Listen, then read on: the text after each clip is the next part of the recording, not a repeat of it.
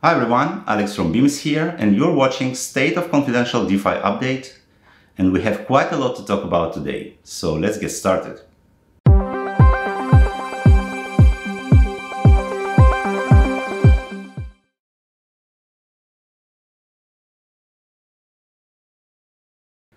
So as you probably know, Beam blockchain now supports smart contracts starting from our recent hard fork in June and we're currently working hard to develop our confidential DeFi platform. Currently, Beam has three main lanes of development. Beam Infrastructure, BeamX DAO, and decentralized applications, NFTs, and partnerships. And I'm going to describe what's going on in each of these lanes one by one.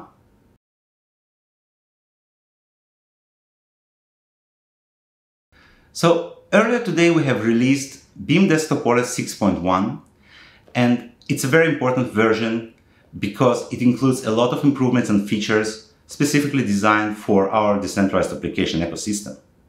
One such feature is the ability to distribute and load Beam dApps as standalone packages, which improves decentralization and censorship resistance compared to a centralized web page or a dApp store.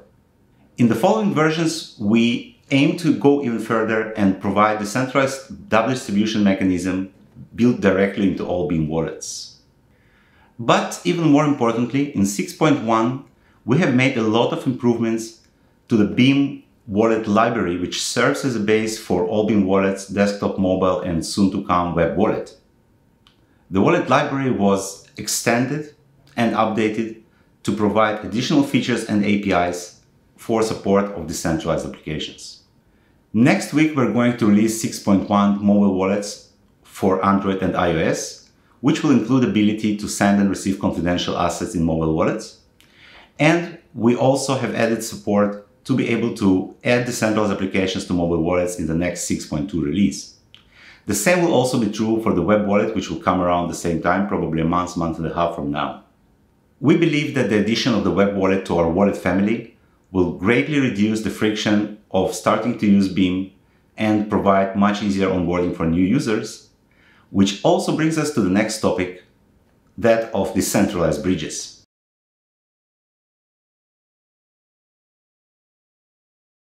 As you probably know, the topic of blockchain interoperability is very hot right now. There are a lot of blockchains with different features and in many cases it makes sense to be able to move your assets and tokens from one blockchain to another. This feature, called bridges, usually works like this. The tokens are locked on one chain and then emitted in the same amount as wrapped assets on the other chain. In the opposite direction, once the wrapped tokens are burned, the appropriate amount of the original tokens is released back on their original chain. The most important part of this scheme is obviously the way to control and monitor that the amount of tokens locked on one chain is exactly equal to the amount emitted on the other chain, otherwise we just have fake emission. In most cases, such control mechanisms involve some intermediary chain or a federation of validators, which also usually have some kind of risk minimization mechanisms on security deposits to reduce the risk for the bridge users. Now, in Beam, we have developed a completely decentralized bridge architecture between Beam and Ethereum blockchains, which requires no trust in the intermediary, and I'm very happy and proud to present it to you today. The main difference of the Beam bridge architecture is that each blockchain is running a smart contract which is able to completely verify the state of the opposing network. The information regarding the state of each chain is sent by completely trustless relayer that only needs to pay fees for the update transactions and in return collects fees from bridge users. Now, since the validation of the state can be potentially costly, especially on Ethereum, we're going to use optimistic rollups in the sense that relayer will lock a security deposit that will be lost if the relayer provides false information, and there is another layer which is able to show a longer chain which will be valid and will contradict the current state. This is basically very similar to how proof of work mining works. From the user experience point of view, the process will be very similar to how a deposit into an exchange works, meaning that the user will have to wait for a certain amount of confirmations before being able to use their funds, thus minimizing the probability of a reorg. Beam decentralized bridges will thus allow users to move assets from Ethereum to Beam, trade them confidentially on Beam blockchain, and then if necessary move them back. It will also allow to move Beam to Ethereum as wrapped ERC20 tokens and trade them on Ethereum DeFi ecosystem. We expect Beam decentralized bridges to be rolled out around Q4 this year.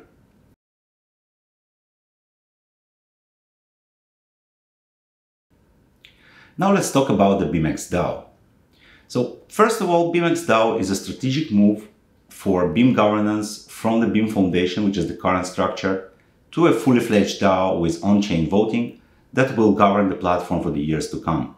The first step in this process is the launch of the DAO core application, which is currently undergoing an audit, and is expected to be launched within about three weeks.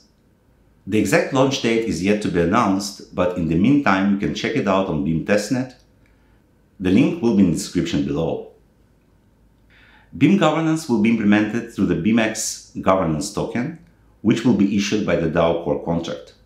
There will be 100 million BeamX tokens emitted when the contract launches. And in the first part, about 1% of these tokens will be distributed for staking Beam in a way that's completely risk-free, which means that you will be able to take back and withdraw your Beam at any time. But of course, the longer you stake your Beam and the more you stake, the more BeamX tokens you will receive. The exact details of what we're doing are published in our Medium article and the link will be in the description below, along with the complete distribution of BeamX tokens, how it is planned.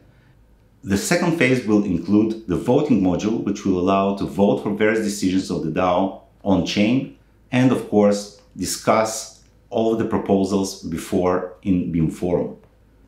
One of the important features of BeamX DAO is the ability to add applications, either those developed by Beam or, or by third-party developers, into the DAO. And the motivation for that is simple. For the application, it gains the user base and the liquidity within the DAO. And for the DAO, it will be able to accumulate fees that are collected by this application. And of course, the decision of whether to add or not a specific application into the DAO is something that the DAO will vote on and decide whether this application is useful for the DAO and can benefit the DAO or not.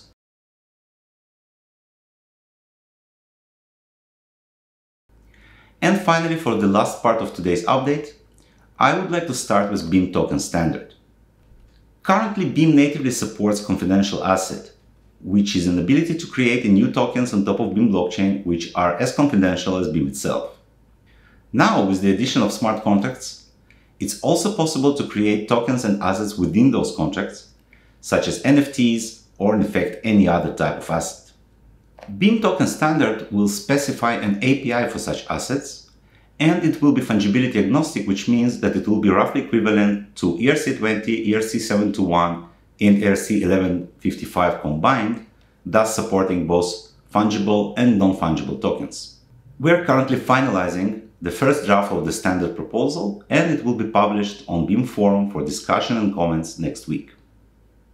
One of the most interesting features of these assets will be inability to withdraw the asset from blockchain into the wallet and then trade it confidentially as a new confidential asset with limited amount depending on the asset that was initially created on the blockchain.